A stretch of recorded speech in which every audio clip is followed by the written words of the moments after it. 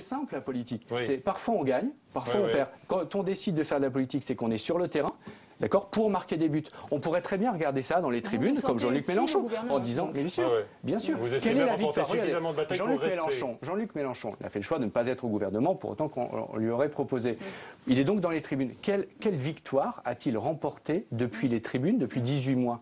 Aucune. Nous, nous pouvons faire la liste des victoires que nous avons remportées, même si je ne vous dirai jamais que c'est suffisant, bien évidemment, parce que euh, je veux, on veut toujours, toujours plus, c'est normal, c'est notre, notre conviction, c'est notre engagement. En revanche, nous avons remporté des victoires importantes qui justifient notre présence au gouvernement. Et Sur le d'ailleurs, la majorité des Donc, Français et de il nos toujours de sympathisants. mener des batailles, il faut rester sur le long terme toujours. Donc on ne part jamais. Pourquoi vous